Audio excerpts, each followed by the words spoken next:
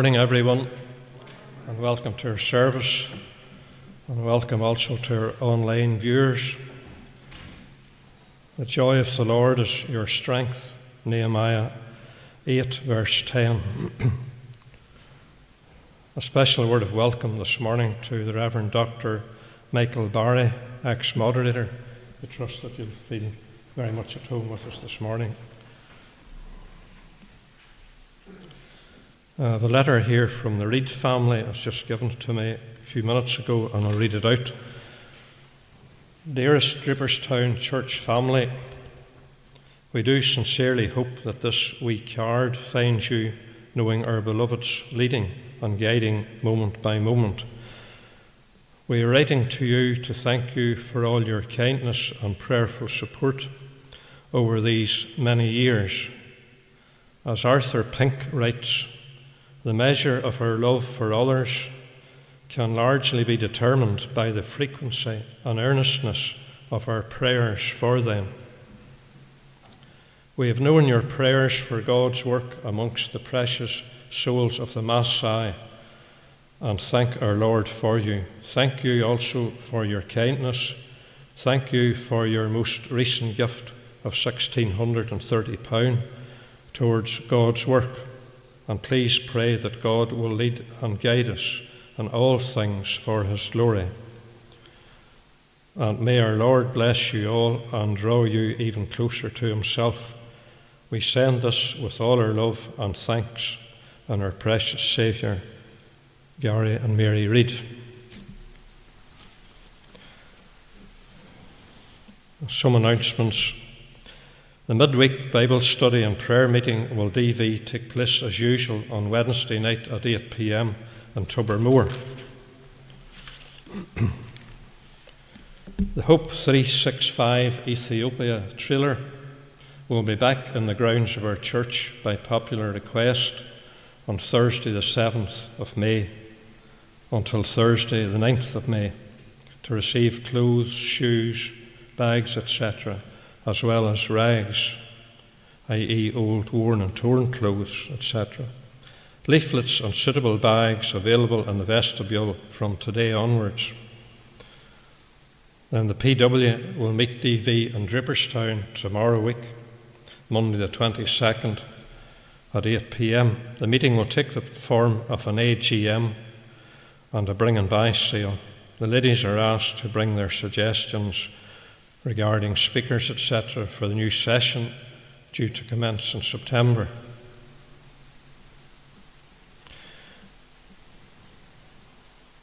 We were sorry to learn of the death on Monday of Mrs. Anna Reid Collibaki, who was the sister of Mrs. Sarah Kenning. Our thoughts and prayers are with the Kenning family at this sad time. The services next Sunday will DV be taken by the Reverend Dr. David Murphy, retired minister of Cunningham Memorial Church. For anyone requiring the service of a minister, I can put you in touch with the Reverend John Martin, minister of Culnady and Swatragh. These are all the necessary announcements, and I'll now hand you over to Dr. Barry.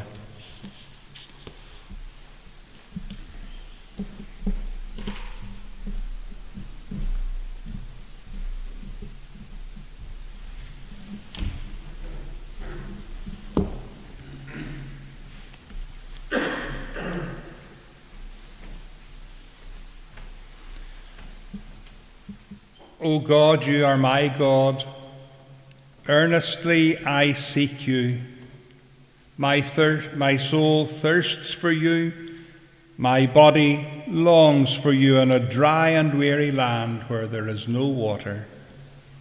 Because your love is better than life, my lips will glorify you. I will praise you as long as I live and in your name I will lift up my hands. We've come to worship God today, and we're going to do that as we sing our opening praise. It's number 50 in the Mission Praise Hymn Book Be Still for the Presence of the Lord.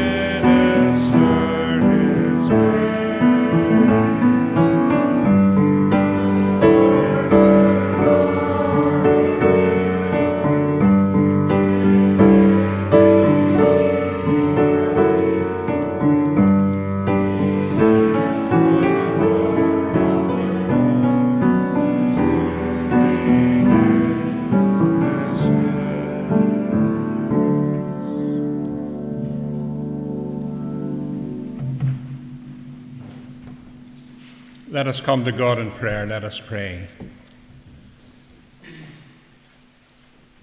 O God, you have brought us this new day. You have wakened us with the dawn. You teach the morning to awaken the earth. And we pray that you would help us to shake the slumber of the night from our eyes and from our minds that we could concentrate upon you. We thank you that you have promised that you would be with us when we gather to bring our praise and worship. And so, as we meet in your presence now, we ask that you would grant us your Holy Spirit to lead and to direct our thinking and our praise. We ask, O God, that like Isaiah of old, we would have a vision of your glory, high and lifted up, that you would help us to see into heaven today, to see you as you really are, in all of your splendor and majesty and glory. We pray for your power, O God your cleansing power that can forgive our sins. We have to confess to you that we have not lived as you call us to live. And we ask that as we meet here today, you would speak to us, that you would challenge us, that you would remind us that in Jesus there is forgiveness and there is cleansing from sin. We pray that as we would for as we would confess our sins, that we would know your forgiveness.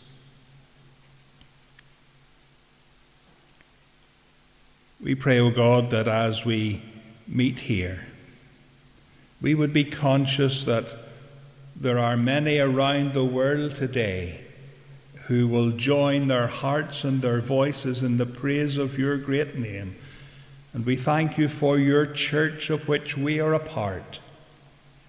And we pray that we might be conscious that you have called many, men and women and young people, to be your people, to be salt and light in their communities, and to live for you. So be with us and bless us in our time together in Jesus' name we pray. Amen. There's a lovely little verse in the book of Psalms, Psalm 86, which says this Teach me your way, O Lord, and I will walk in it. Give me an undivided heart that I may fear your name. I will praise you, O Lord my God, with all my heart. I will glorify your name forever, for great is your love towards me. You have delivered me from the depths of the grave. And as we meet here today, it's wonderful to know that the Lord forgives people who come to Him humbly, confessing their sins, that He renews them. And we'll be thinking about that later in our service as well. I want to thank uh, Trevor for his invitation to lead services here uh, with you this morning, and we pray that uh, God will indeed bless us. I want to thank uh, Gordon for his kind uh, words of welcome and for all the help that he has been to me uh, in the run up to this service.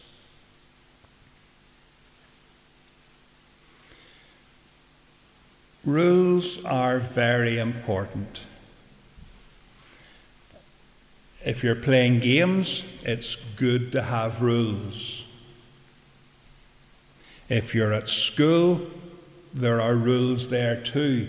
And very often, whenever I go into classrooms, up on the wall there is a list of rules. And there might be rules a bit like this Always listen to the teacher. That's a good rule. Be kind and respect one another. stay in your seat. Whenever I went to school, and maybe some of you are the same, you dared to move out of your seat. But sometimes, whenever I go into classrooms today, children are up and about and they're moving over here and they're walking over there. And school classrooms can be very untidy and messy. It's a good job sometimes to stay in your seat. Or what about this one? Don't talk without permission. Again, whenever I was at school, you hardly lifted your eyes off your work. You never looked at the person beside you, never mind talk to them. It's good to be quiet and to work hard. Or what about keeping your desk neat and clean?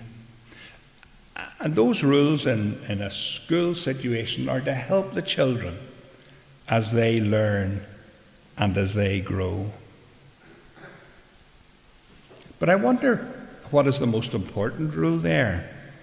Well, usually the most important rule comes at the, at the top. And in the wee list that I read out there, always listen to the teacher. That's very important. One day a man came to Jesus and he said, Jesus, what's the most important rule? He used the word commandment, but that's really what it means. What's the most important rule?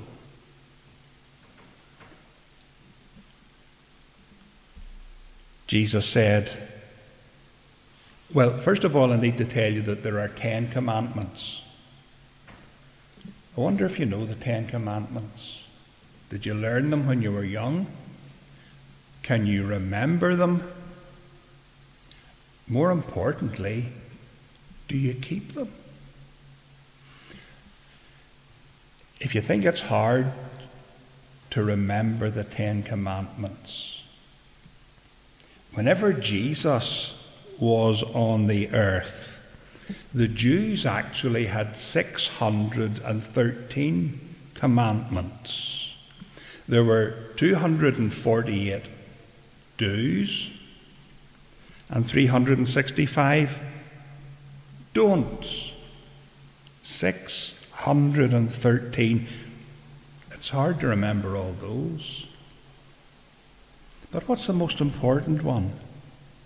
Well, listen to what Jesus said to the man Love the Lord your God with all your heart, and with all your soul, and with all your mind, and with all your strength. This is the greatest commandment. And the second is like it love your neighbour as yourself. So, the most important thing for us to do is to love God. But the second one, which is very close to that, is that we've got to love one another.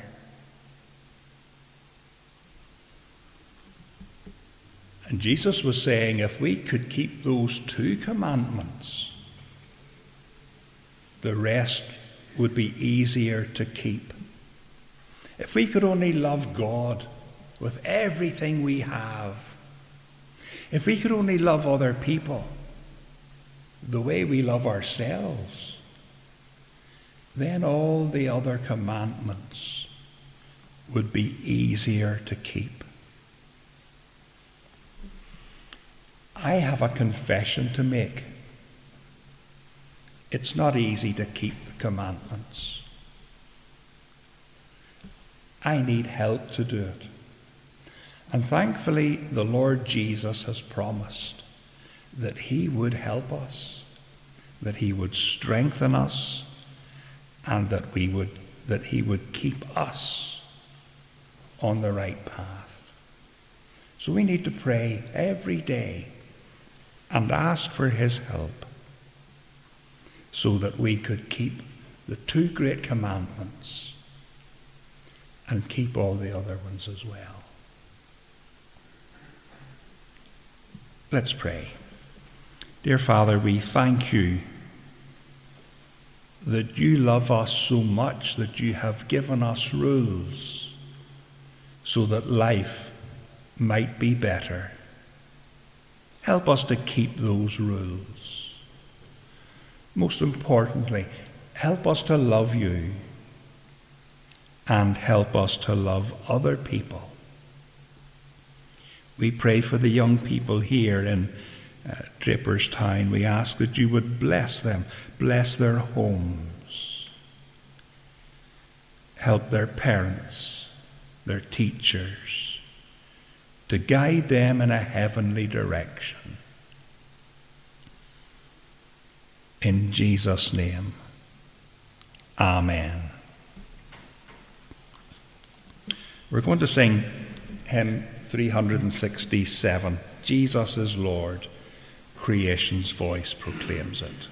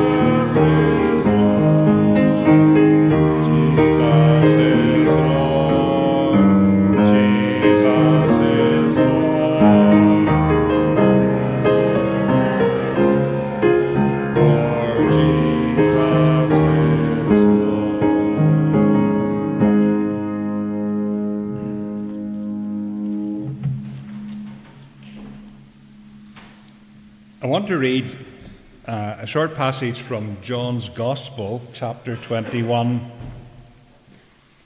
If you have a Pew Bible, it's page 1090. John chapter 21, we're going to read from verse 15. This was after the resurrection. Jesus had met with the disciples. They had brought in a miraculous uh, catch of fish, and they've had breakfast on the beach. And this is what happens next. John chapter 21, verse 15. Let us hear the word of God. When they had finished eating, Jesus said to Simon Peter, Simon, son of John, do you truly love me more than these? Yes, Lord, he said, You know that I love you. Jesus said, Feed my lambs. Again, Jesus said, Simon, son of John, do you truly love me? He answered, Yes, Lord, you know that I love you. Jesus said, Take care of my sheep. The third time he said to him, Simon, son of John, do you love me? Peter was hurt because Jesus asked him the third time, Do you love me? He said, Lord, you know all things. You know that I love you. Jesus said, Feed my sheep. I tell you the truth. When you were younger, you dressed yourself and went where you wanted. But when you're old, you will stretch out your hands, and someone else will dress you and lead you to where you do not want to go. Jesus said this to indicate the kind of death by which Peter would glorify God. Then he said to him, Follow me. Amen. And we know that God will bless this reading from his word. We bring our prayers of thanksgiving and intercession to God. Let us bow together in prayer. Let us pray.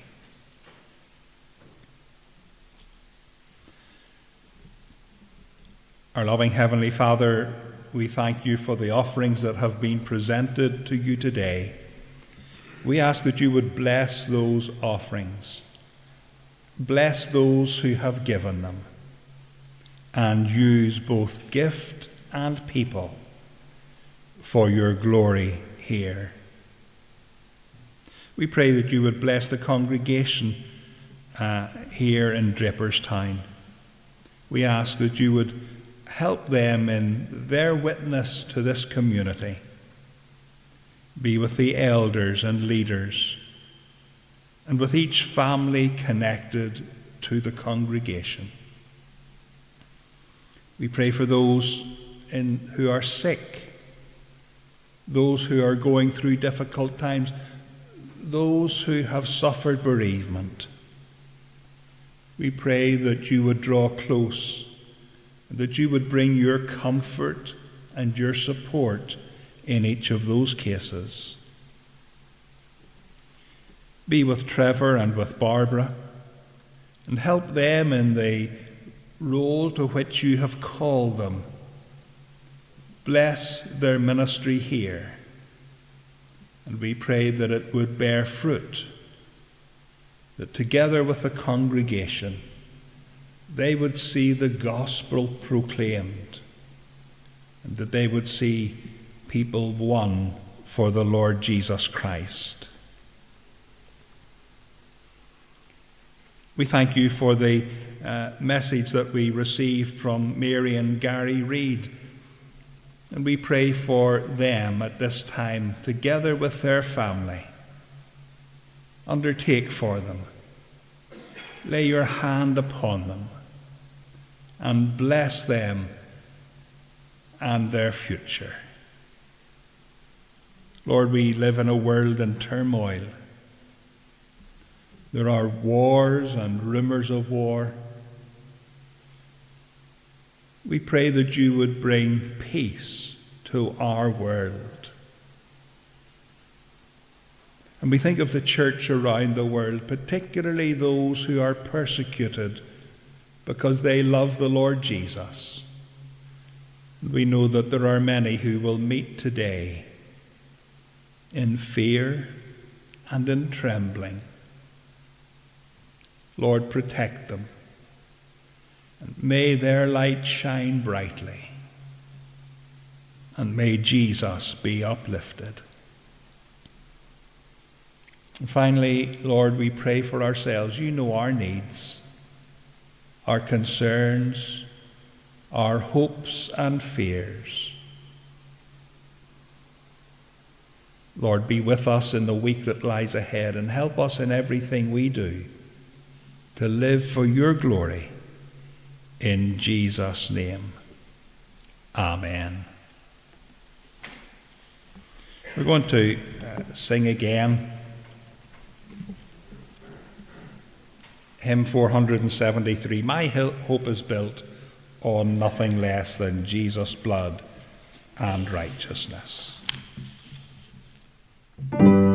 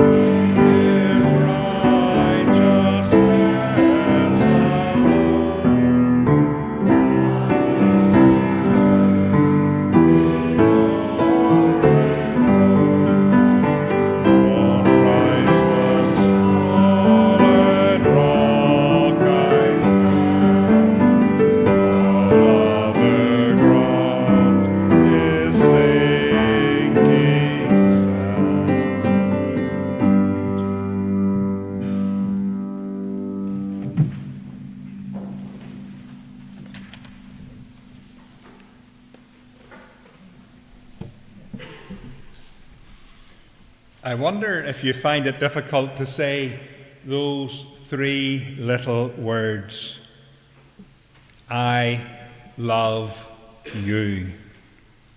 Maybe on Valentine's Day, there's still some romance left in you. I know sometimes on the 14th of February, I have to struggle a bit, but I usually manage to get a card and some flowers uh, maybe take my wife out for a meal.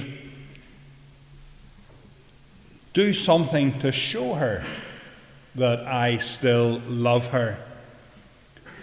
But I wonder how easy it is for us to actually say those words, I love you. Or maybe on Mother's Day, we would buy our mother's uh, present or some flowers, we would get a card but how easy is it for us to say, Mum, I love you.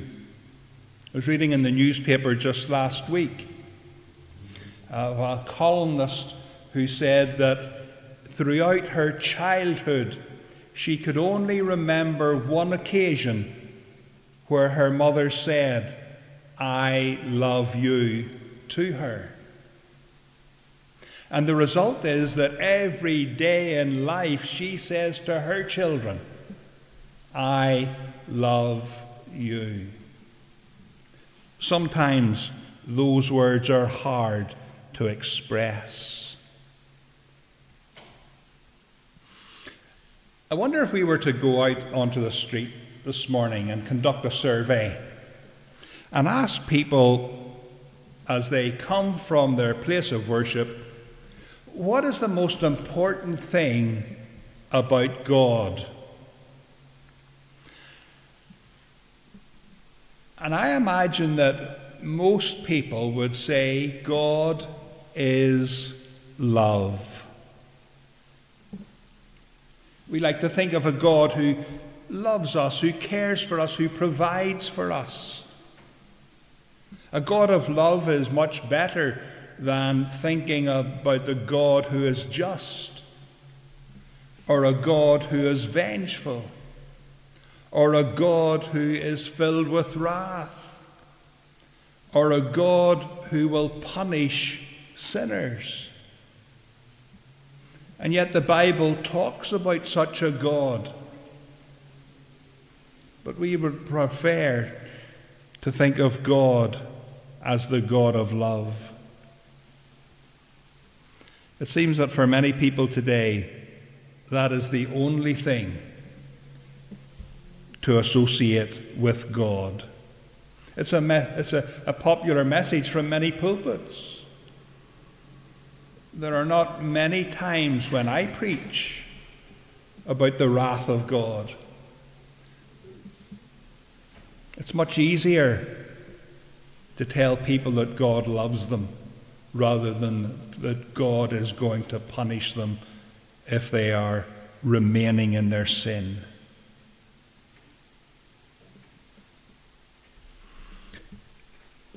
Imagine if we had no Bible and we depended on preachers and teachers to tell us what the Bible actually says. I wonder how much we would actually know about the gospel story if we weren't able to read it for ourselves and you were depending on people like me. I wonder how much you would know about the Bible's story. And yet, that was the case before the invention of printing. Before people had a Bible in their own home, before people were able to read the Bible, they depended on the minister or the teacher explaining it to them. And of course, many people had a very imperfect knowledge. But the same was also true in Jesus' day. There would have been scrolls in the local synagogue, a long uh, scroll where the message was written, the Old Testament books were written, and they would have been read at the Sabbath services. But people had no copies at home. And amazingly, what happened was they would start to memorize those passages. And they would try to learn them off by heart. So that where you and I might go home and pick up our Bible and turn to a particular passage or verse and read it, they would recall it from their memory. And that's why, for example, as the Apostle Paul is writing his letters, he's able to quote from the Old Testament so well. The problem was that the only way the people could, under, uh, could learn about the Bible's message was from what the scribes and Pharisees and their priests were teaching them. And very often that wasn't accurate. And that was the problem that Jesus had. Coming up against people who thought, believed the wrong thing about the Bible's story. They supplanted God's message with their own. The people didn't realize that what they were hearing was, in fact, falsehood. That's why it's important, like the Bereans of old, that whenever you hear a minister speaking, you go back to the Bible and you compare it, what he has said, with what you read there. And I hope that, for example, you don't sit there and say, well, the minister had said one thing, that must be true. Take your Bible, read it, and compare it with what you hear Sunday by Sunday. Fortunately, I know Trevor well enough to know that he's not going to teach you any falsehood. But you still have that responsibility to study God's Word. I can remember as a student going to conduct a service in a vacant congregation. And it was in a small rural area. And afterwards, I was, in those days, the students being very poor would have been taken for a meal afterwards. And I was taken to this elder's house for a meal. His wife hadn't come to church, she had stayed at home to prepare the food. And as the three of us sat at the table, she turned to her husband and said, Well, what was the sermon about today? And I nearly choked. Because the man might well have said, I don't know, I wasn't listening. He might well have said, Well, I actually fell asleep in the middle of it. He might have said, I lost my train of thought, it was so boring. But he didn't. He said, It was about sin. And Mary, do you know something? Smoking is not a sin. And obviously, he enjoyed a cigarette. Obviously, she didn't like him smoking, but he was able to tell her that the minister had said that smoking was not a sin. And I did say that. But I said it in the context that for most people in Northern Ireland, sin consisted in those days of not smoking, not drinking, not going to dances, not swearing. And as long as you didn't do any of those things, you weren't a sinner. The Bible has a very different story about what sin is. And sometimes the minister can say things and it will be misunderstood. Sometimes he can say things in a clumsy way. And sometimes he can get it completely wrong. So let me encourage you to study God's Word, to learn what God is saying to you.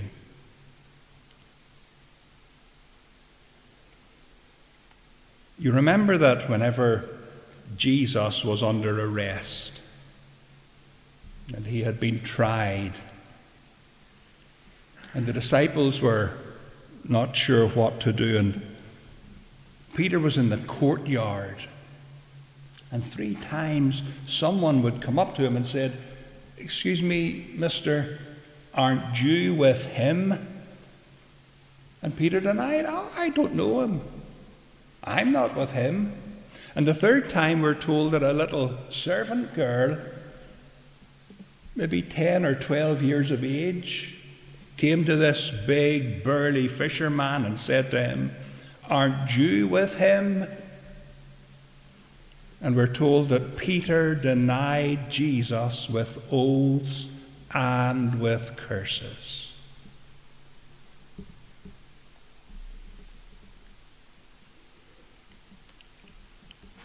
And as he looked at Jesus, Jesus turned and looked at him. And we're told that Peter fled, weeping.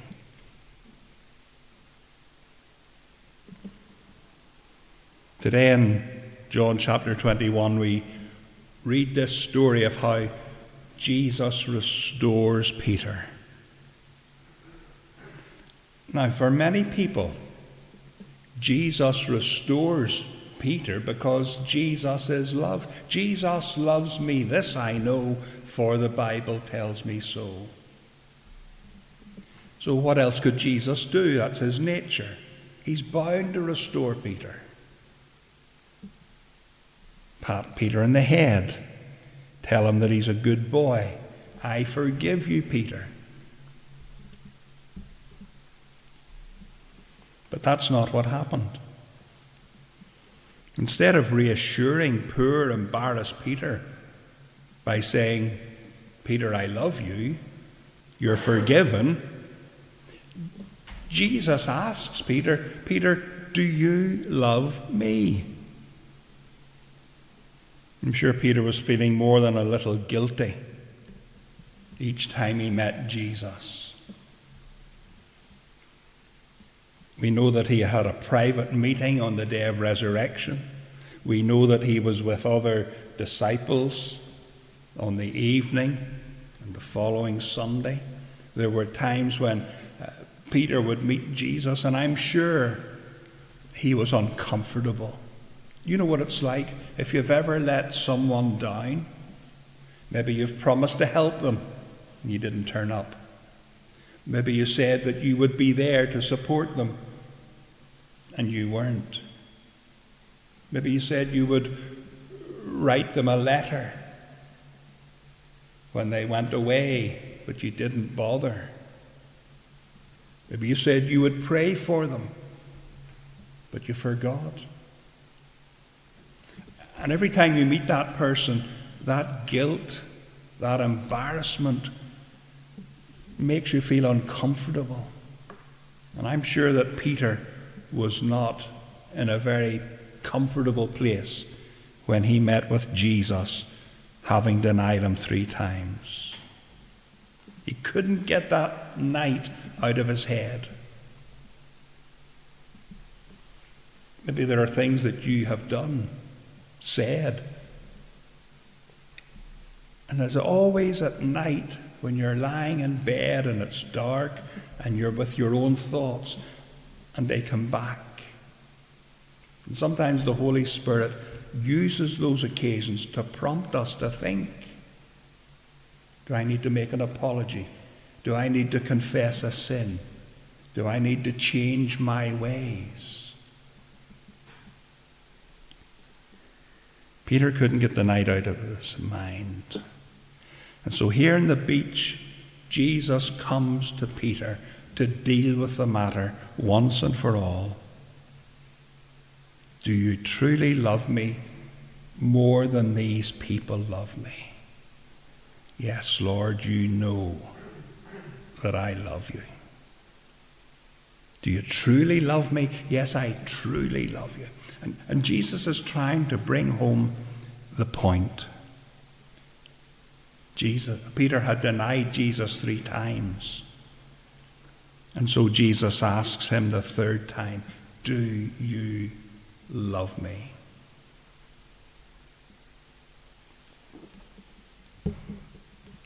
If, if, if Jesus really knows our human hearts, surely he would have known about Peter. Why did he ask him three times? Well, he wanted Peter to say those words Lord, I love you. You see, it's easy to say, but sure you know that I love you. A man had been married to his wife for 50 years.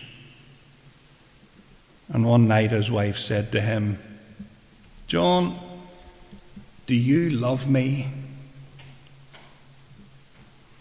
Woman, we got married 50 years ago, and I told you then that I loved you.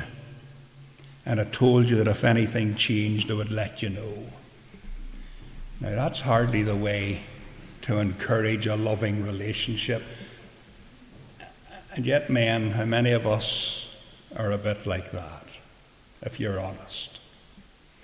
And I wonder how many of our wives long for us just to say those words. I was listening to a song on the radio the other day in the car. Have I told you lately that I love you? And as I was thinking about this, I thought, I really need to go home and speak to my wife. Have you told her lately that you love her? Have you told him lately that you love him?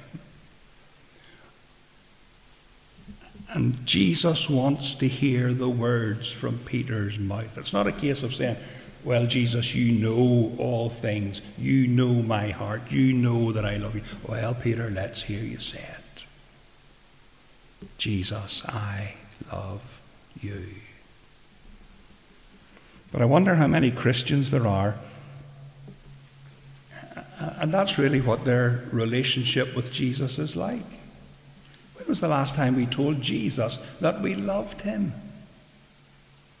We take from him every day. He's bound to know that I love him. But do we tell him that?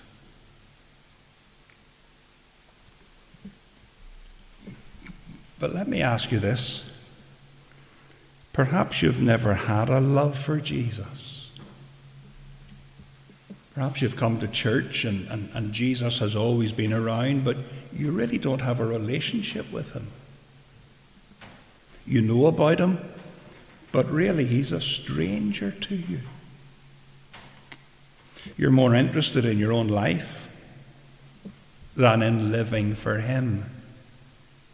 You're more interested in your own sins than living for him.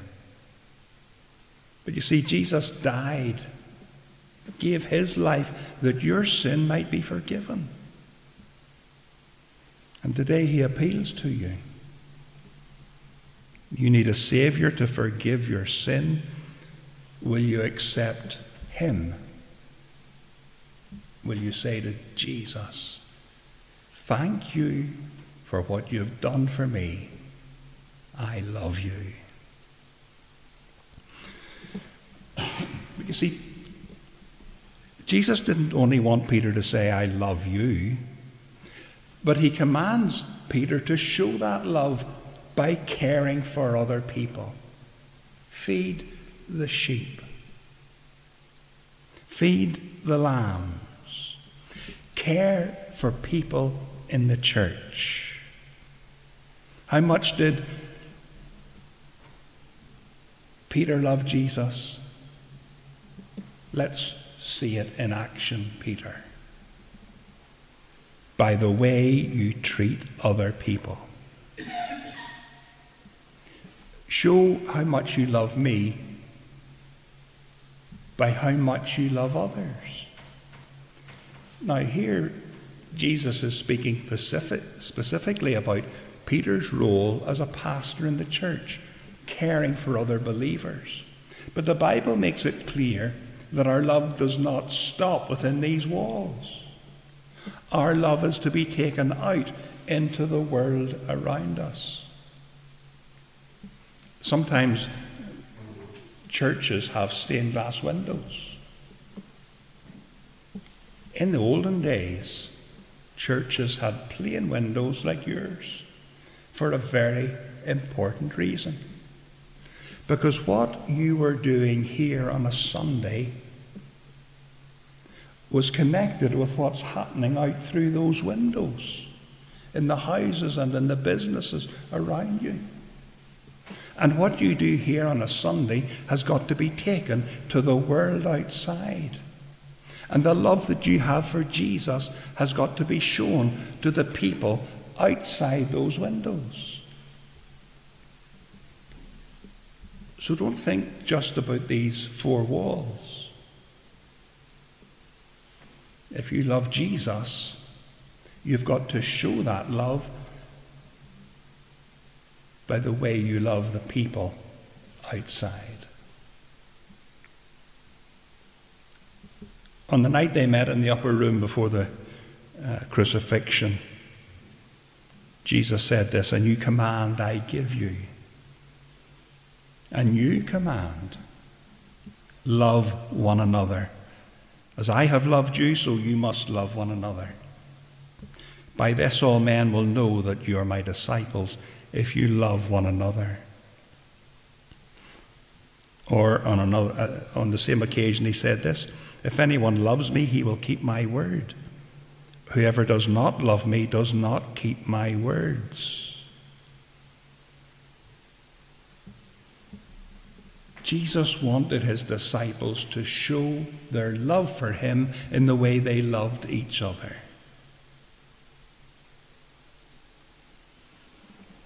But on that occasion, instead of thinking about how much he loved Jesus, Peter was more concerned about where Jesus was going. Lord, why can't I follow you? I will lay down my life for you. And then Jesus gave him that terrible warning Will you really lay down your life for me? I tell you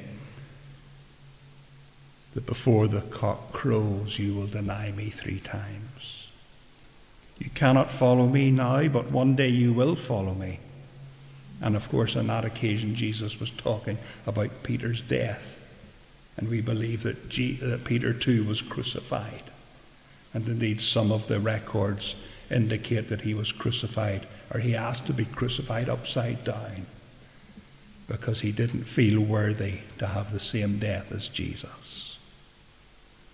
But here in chapter 21 of John, Jesus speaking about Peter's death, but Peter is being reminded that it's in the context of loving Jesus and showing that love by loving the sheep.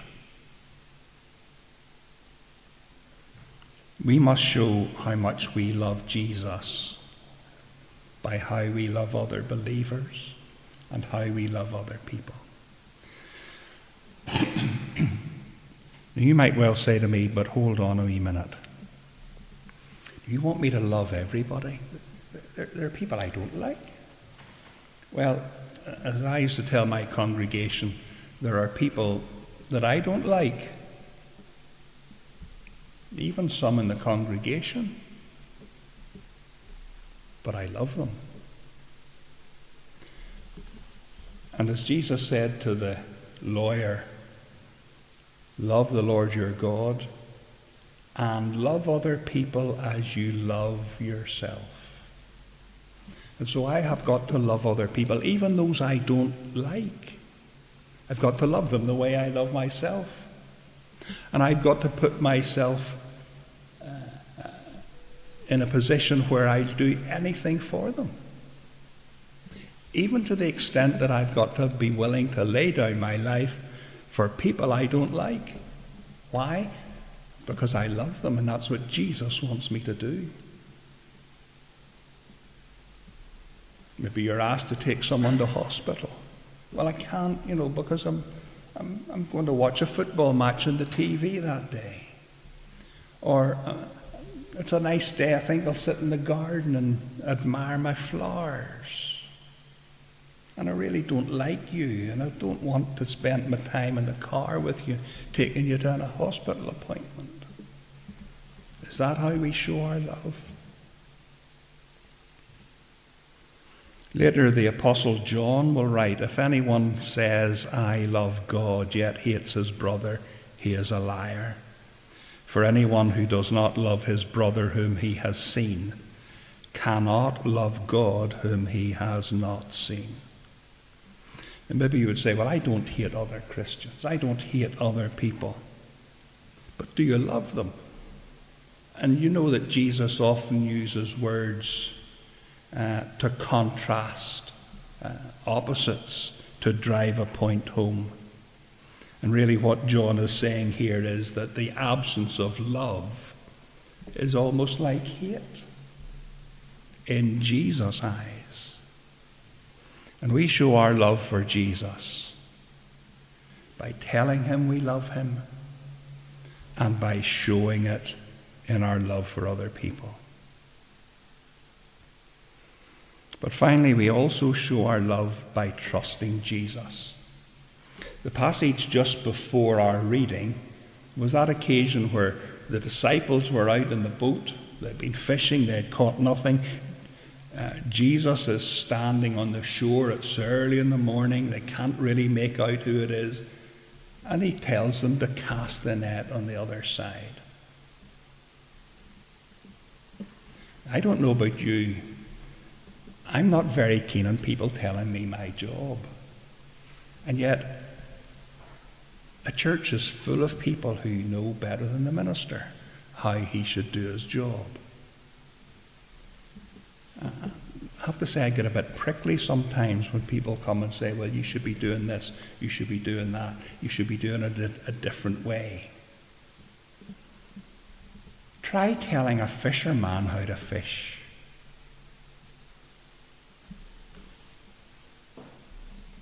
Or imagine me going to a farmer and telling him how to farm.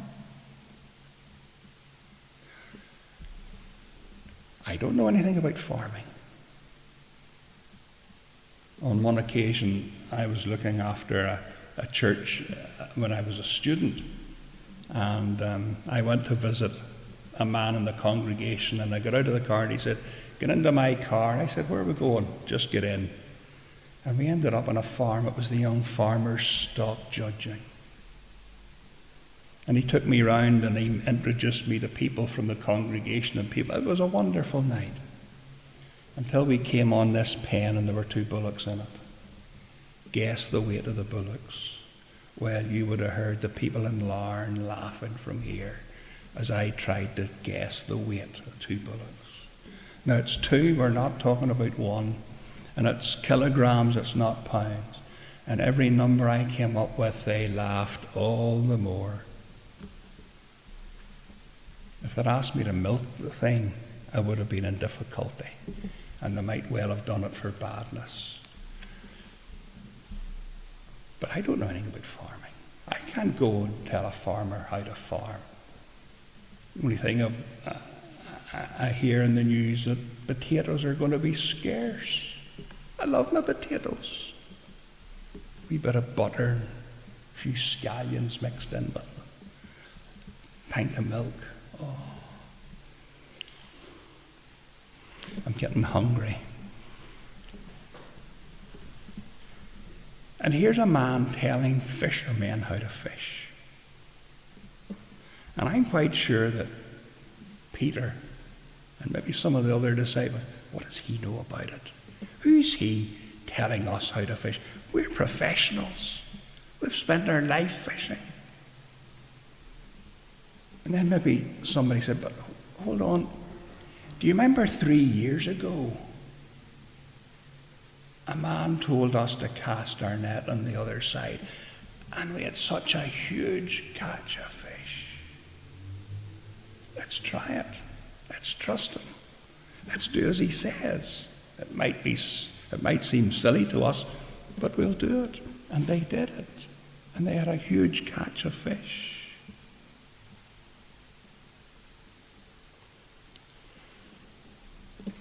Let me say you can trust Jesus. And you show your love for Jesus by trusting him in how you live your life, in how you live your church life,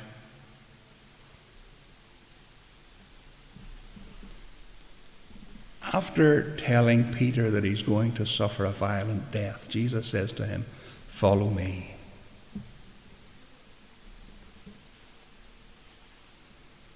To a violent death, to difficult days ahead. Follow me. That took Peter back. One day, he was walking with Andrew, his brother, and he was at the lake of Galilee when Jesus called him, Follow me. And Peter's, uh, Jesus is saying, Peter, nothing has changed. I'm still here. I still want you. But will you trust me? Will you love me? Will you follow me?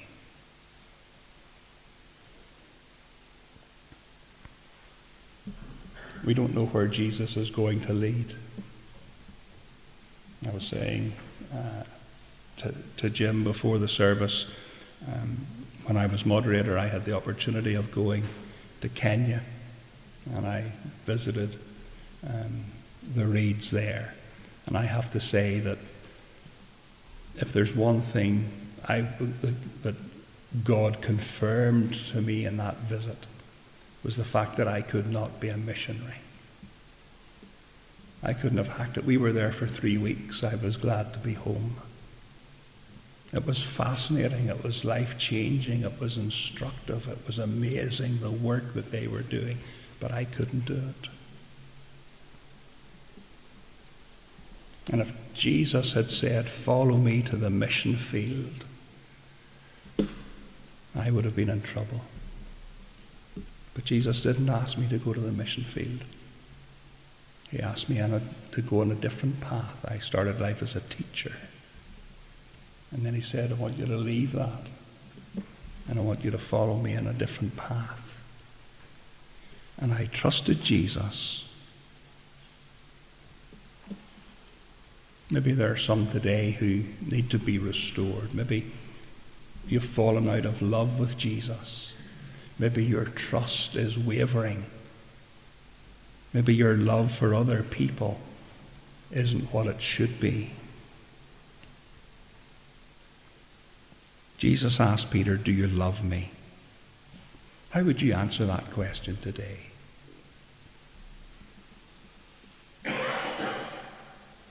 Jesus told Peter to feed, to care for others. Will you do that?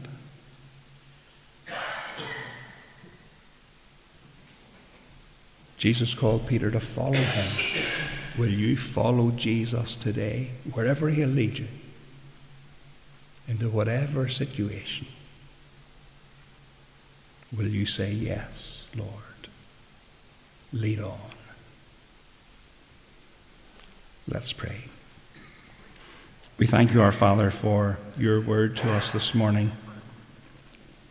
Grant us your Holy Spirit to help us to love Jesus, to love other people, and to follow him.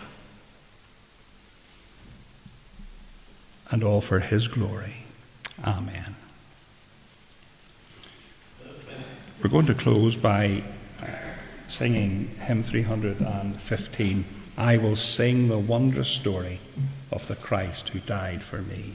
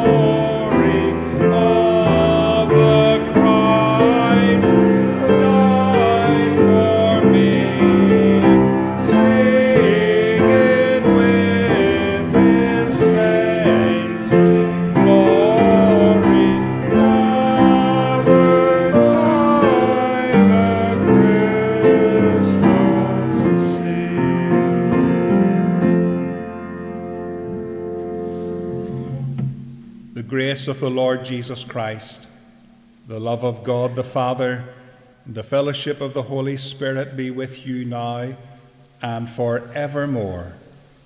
Amen.